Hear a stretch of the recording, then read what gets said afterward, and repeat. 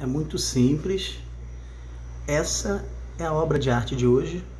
Vocês podem ver, tem duas camadas aqui. Aqui tem meio quilo de carne moída com uma seleta, né? E um patê de muitas verduras. Rúcula, salsa cebolinha, hortelã, espinafre, batido no liquidificador, né? Com azeite, sal e uma cebola inteira, jogado na panela, refogado junto com a carne moída e depois de cozinhar